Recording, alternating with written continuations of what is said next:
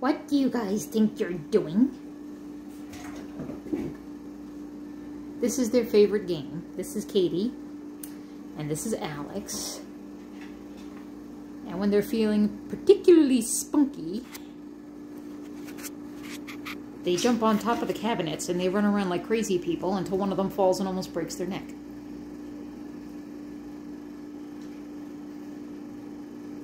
What are you doing?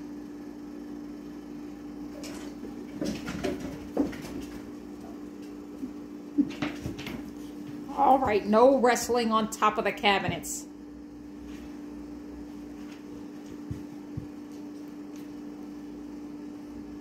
Be careful, Alex. She's going to push you into the garbage can like she did last time. Because she does that. She knows where it is, too.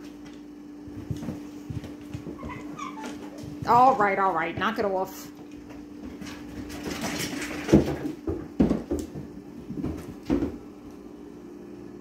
Are, are you better now? Is that out of your system? Are you sure?